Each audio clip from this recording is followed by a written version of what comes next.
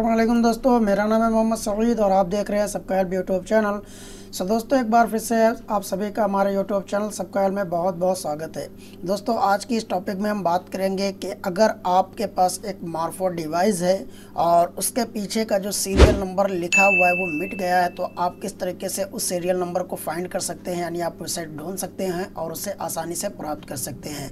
सो दोस्तों, आज की वीडियो बहुत ही ज़्यादा इंटरेस्टिंग होने वाली है तो अगर आप हमारे चैनल पर नया हो तो प्लीज़ से चैनल को ज़रूर सब्सक्राइब कर लो और साथ में आने वाले पैरे से नन्हे से बेलाइकन को भी दबा लो ताकि फ्यूचर में जो भी कोई नई वीडियोस को हम अपलोड करें तो उसका नोटिफिकेशन सबसे पहले आप तक पहुँचे और आप हमारी हर नई वीडियो से अपडेट रह पाए।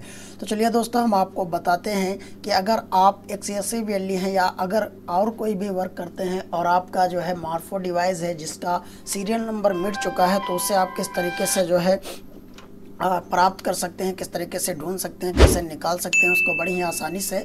सो दोस्तों, बने रहिएगा हमारे वीडियो के साथ। साथ ही आप हमारे चैनल को ज़रूर सब्सक्राइब कर ले। तो यहाँ पर हम जो है, अपने सिस्टम को मैनेज कर देते हैं। फिर यहाँ पर देख पा रहे हैं, यहाँ पर आपको आना है माई कंप्यूटर पर और उसको राइट क्लिक करना है, फिर चले आना है मैनेज पर। जैसे ही आप राइट क्लिक करके मैनेज पर आएँगे तो यहाँ पर आपके सामने एक ऑप्शन खुल के आएगा। यहाँ पर आप देख पा रहे हैं, फिर आपको यहाँ पर आना है डिवाइस मैनेजर में। डिवाइस मैनेजर में आने के बाद दोस्तों, आप जैसे यहाँ पर आएँगे तो यहाँ पर आप देख पा रहे हैं यूनिवर्सल सीरियल बस कंट्रोलर्स, जितने भी जो है यूएसबी पार्ट्स इसमें लगे होंगे, वो सारे के सारे यहाँ पर शो करेंगे। आप जैसे इस पर डबल क्लिक करेंगे तो यहाँ पर आप देख पा रहे हैं, अभी हमारा मार्फो डिवाइस इसमें शो नहीं कर रहा है। तो अभी हमने जो है अपने मार्फो डिवाइस को नहीं लगाया अपने सिस्टम से, अपने लैपटॉप से। तो चलिए यहाँ पर हम अपने मार्फो डिवाइस को अपने सिस्टम से कनेक्ट कर लेते हैं। और यहाँ पर देखिए, अगर आपकी जो है सिस्टम से लगाते तो यहाँ पर देखिए फिर से आप इस पर इस पर क्लिक करके ओपन करेंगे। यहाँ पर देखिए तो यहाँ पर आपको Morpho smart C B M का एक ऑप्शन दिखेगा जो कि मार्फो डिवाइस है। यहाँ पर आप देख पा रहे हैं, ये जो इरर आपके सामने आ रहा होगा, अगर आप देख पा रहे हैं हमारे कंप्यूटर स्क्रीन पर जिस तरीके से दिखा रहा है तो ये हमारी जो मशीन है, ये जो है हमारी एक्सपायर हो चुकी है। एक साल के हमने इसको रजिस्टर किया था बाई किया था, ये एक्सपायर हो चुकी है। जिसके कारण इसके जैसे हम सिस्टम में लगाते हैं तो ये बोलता है कि इसका जो है वन टाइम टोकन नंबर दीजिए, उसके बाद में ये काम करेंगे। सो दोस्तों, इसका फाइनली हमें जो है सीरियल नंबर नहीं पता है, क्या इसका सीरियल नंबर इसीलिए हमने सोचा इस पर वीडियो भी बना दें, क्योंकि कई सारे लोग इस, रिलेशन में फंसे होते हैं कि उनको अपना सीरियल नंबर नहीं पता होता है। तो यहाँ पर सिंपली दोस्तों इसको हम अनदेखा कर देते हैं। यहाँ पर जैसे ही हम राइट क्लिक करेंगे तो दोस्तों यहाँ पर आपको आना है प्रॉपर्टीज़ में। यहाँ पर राइट क्लिक करने के बाद दोस्तों आपको प्रॉपर्टीज़ में आना है फिर यहाँ पर आना है डिटेल्स में।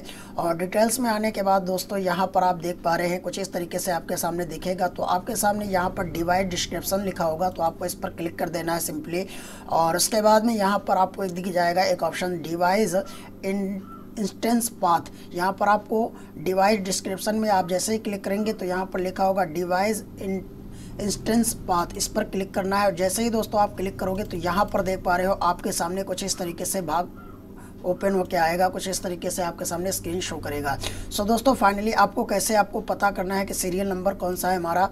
तो यहाँ पर दोस्तों आप देख पा रहे हैं यहाँ पर ये आ, जो है 18 से जो चालू है आपका 11 नंबर का एक सीरियल नंबर है। यहाँ पर आप देख पा रहे हैं इसको हम अलग हाईलाइट करके आपको बता देंगे। यहाँ पर ये ग्यारह नंबर आपको कॉपी कर लेना है सिंपली उसके बाद में क्या करना है ओके कर देना है। फिर आपको यहाँ इसको कहीं पर नोट कर लेना है या पर कहीं पर लिख लेना है। तो चलिए यहाँ पर हम इसको नोट कर लेते हैं।